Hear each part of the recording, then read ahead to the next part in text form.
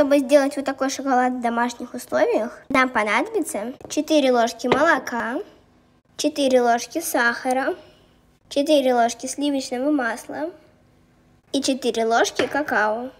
Берем любые формочки и заливаем в формочки шоколад.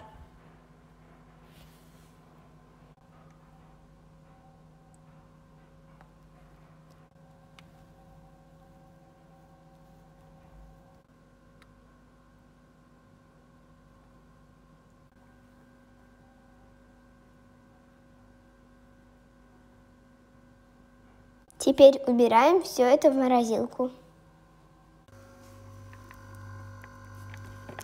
Через пару часиков достаем.